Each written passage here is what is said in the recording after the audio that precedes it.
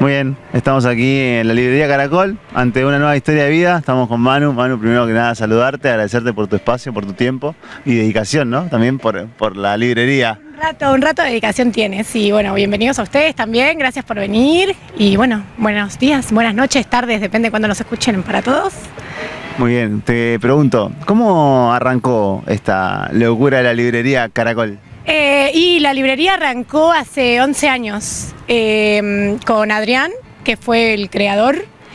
Eh, arrancó en la Feria de Verduras, cerca del puesto 10 más o menos.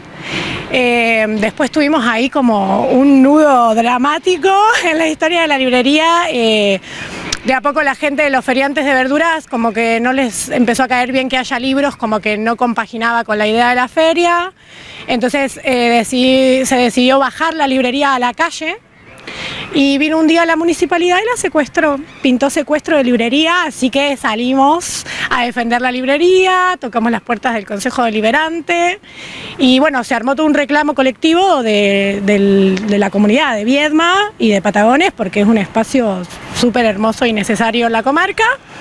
Y mm, después de un montón de negociaciones y tratados, eh, nos cedieron este espacio eh, como para poder gestionarlo y trabajarlo tranquilos.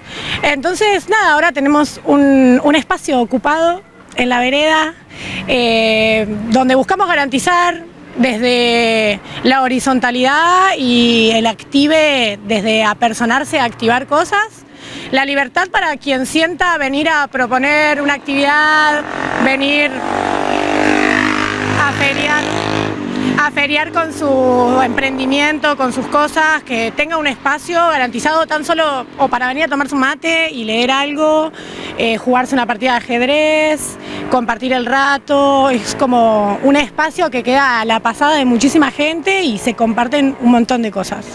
siempre las puertas están abiertas a, quien quiera venir.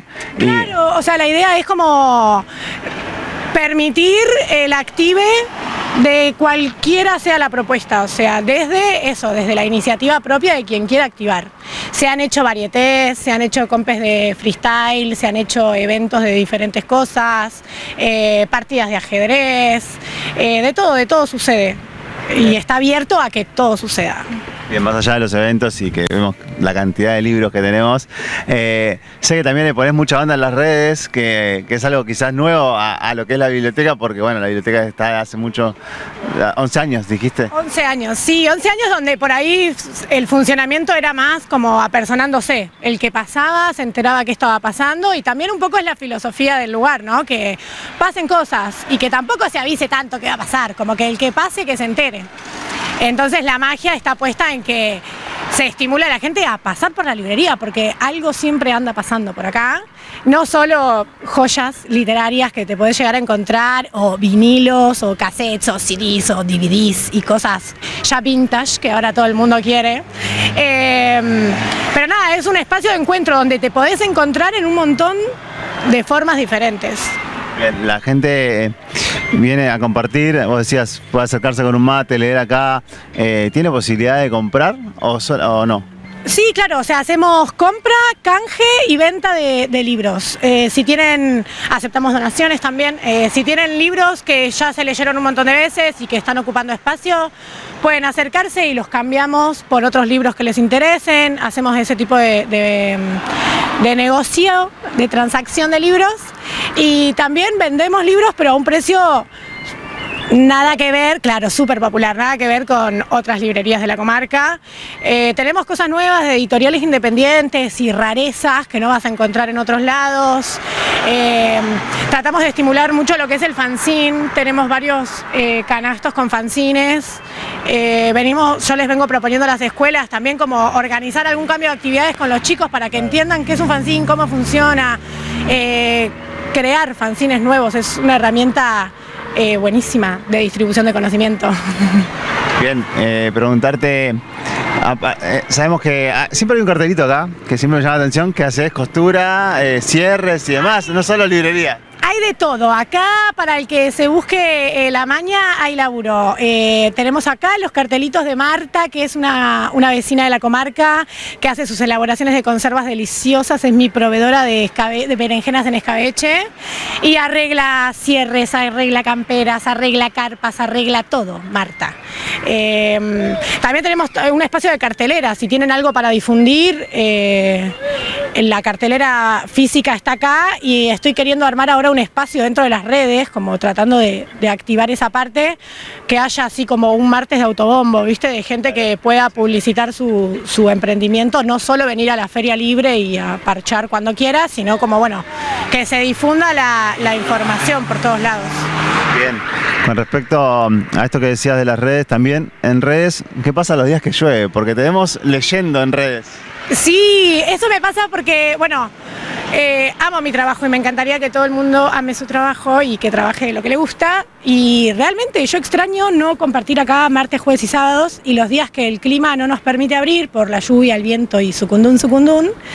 Em, desde el invierno pasado empecé a hacer lecturas de cuentos de terror porque siempre pasaba que eran días lluviosos, súper tenebrosos. Dije, bueno, leemos a Elsa Bornemann y sus cuentos de terror. Entonces cada día quedó ahora como costumbre. Cuando no puedo abrir por mal clima, eh, hago una transmisión en vivo desde Instagram, que a veces queda colgada en Facebook también, de algún cuento de los que tengo, o de terror, o de lo que sea. Eh, les hago ahí unas lecturas y comparto con ustedes desde ahí también, para que Bien. ¿Qué es lo que más te gusta leer? Eh, uy, a mí terror.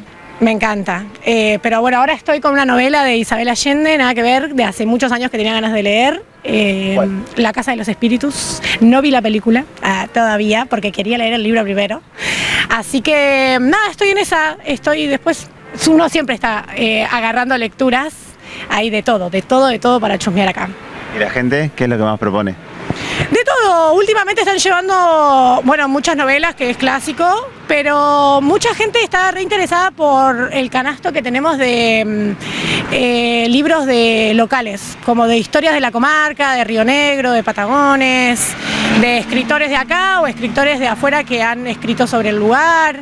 Eh, hay como de última, últimamente mucho interés en lo que es historia local. Después mucha gente que viene a buscar últimamente historia como mm, novelas históricas, em, pero siempre hay alguien buscando un poco de autoayuda, espiritualidad, tenemos ahí canastos para todos, hay de cómics, ahora estoy trayendo, en la comarca no hay em, una biblioteca o un lugar donde adquirir mangas y cómics gráficos, entonces estoy metiéndome ahí de a poquito armando un rincón otaku, así que escuchen, escuchen que se vienen cositas. Muy bien. Eh, consultando un poquito más acerca de, la historia de, la librería, ¿no? 11 años, eh, muchísimo tiempo, pandemia en el medio eh, y hoy una situación que quizás a nivel país no ayuda mucho en lo que es gastos y, todo eso. Eh, bueno, acá tenés luz, hablábamos por fuera de cámara, eh, para, sobrevivir, para que la gente también esté cómoda cuando se anochece. Eh, pero bueno, ¿cómo, ¿cómo la venís llevando? ¿Cómo, ¿Cómo son los gastos? ¿Qué gastos hay? Bien, acá resistimos. existimos, entonces por ende vamos a seguir resistiendo. Eso, los precios que manejamos son súper populares, no sé, los más caros, más caro que puedes llegar a encontrar, te puede llegar a salir 15 lucas, 18 lucas. Eh, que a comparación de cualquier otra librería, cualquier libro de 15 páginas te sale 15 mil pesos. Entonces, eh, para mí lo primordial es que recircule, o sea que hay, hay muchísima data, muchísima información, muchísima joya literaria eh, a disposición y a mí lo que me interesa es el intercambio, que se lleven algo que que, les produzca algo. Y hay de todo para todos los gustos. por suerte, por ahora, seguimos resistiendo a la inflación. Pero nada, la idea es eso, es que se sostenga, se sostenga el espacio, cueste lo que cueste, no importa, nos vamos a acomodar eh, para no perder este espacio. Creo que es uno de los pocos espacios, así como anarquistas y sin patrón, que tiene la comarca, ocupando una vereda hace 11 años. Así que bueno, eh, estamos acá, sin intenciones de irnos ni de cerrar la persiana, así que... Martes, jueves y domingo, eh, sábados, perdón, ¿en qué horario? Martes, jueves y sábados, efectivamente, de 9 a 16 horas, a 4 de la tarde. acabo de hacer el cambio de horario por el invierno. En verano nos queda, hacemos horario partido Estuve desde diciembre haciendo desde las 9 hasta la 1 y media y luego volví a las 6 de la tarde hasta las 9 de la noche. Ahora por el frío y todo hago de corrido hasta las 4 de la tarde a partir de las 9 de la mañana. Martes, jueves y sábado. Siempre los sábados un poco más, hasta las 6 nos quedamos. Pero bueno, como de base estamos ahí. Bien, ahora con ¿hay algún contacto o algo que se pueda, más allá de las redes, que dejes, que le des a la gente para poder contactarse por, no sé, tiene alguna duda o, che, necesito tal libro, sé que lo tenés y no puedo ir el martes, ni jueves, ni sábado? Eh, no, por ahora solo las redes, que el Facebook es Librería Caracol, sin la R de librería, porque no me dejó Don Facebook ponerle librería. Eh, y el Instagram sí es eh, librería.caracol.viedma. Eh, ahí pueden escribir, pueden ver, o sea, yo cada libro, cada estante voy fotografiando y subiendo todo lo que está disponible. Eh, pero la idea siempre fue que el que sea persona gana. Entonces no reservamos, no guardamos libros. eh, el primero que llega se lo lleva. Entonces como también estimular a la gente a que siga pasando, siga concurriendo, que hay cosas maravillosas. Ahora con nueva gráfica, vi hace poquito los, las ilustraciones de Juli Mercado. Sí, Juli, que bueno, es una asidua clienta, eh, compañera acá de la Libre, eh, nos, nos hizo sí, las nuevas gráficas de la librería. Estamos ahora por mandar a imprimir señaladores para que se lleven con sus libros. Eh, y ahí, mimitos, unos stickers y cositas lindas. Bien. ¿Qué es para vos la librería? Ay, es mi espacio seguro. y así quiero que sea eh, para el que pase. Te dices que decirle a la gente que, que se acerca, eh, bueno, el género de, de- de lectura ya me lo dijiste, prácticamente terror, pero si tuvieses que recomendarle algún libro en particular que digas, te tenés que llevar este, hoy te tenés que llevar este. Eh, han llegado unas joyitas. Eh, yo estoy bastante casi comunista, me dirán, pero llegaron cositas de Tolstoy que están eh, viejísimas pero hermosas. Tenemos editorial, o sea, ediciones de Cortázar, hermosas. Yo me las llevaría a mi casa. Eh, pero no, hay de todo. La verdad que hay de todo. O sea, yo no puedo elegir. Por eso voy leyendo mes a mes cositas nuevas. Pero mm, eh, vengan a chusmearlos. Los invito a que eh, buceen en los estantes de la librería. Bien. Te agradecemos por tu tiempo, por tu espacio y gracias por existir aquí en la comarca. Bueno, gracias a ustedes por venir, por reconocerlo, por pasar y nada, quedan todos invitados a pasarse si tienen un emprendimiento, a venir a feriar martes, jueves y sábados. Tenemos espacio libre de, para feria, tenemos un espacio fijo de gratiferia donde recirculamos un montón de objetos y ropa y cosas que la gente ya no utiliza, está en buen estado, las puede acercar, siempre a alguien le sirve. Eh, así que nada, acá, sosteniendo el espacio y abiertos a la active que quieran. Bien. Nos encontramos en la próxima lectura. Eh, me los espero cuando quieran.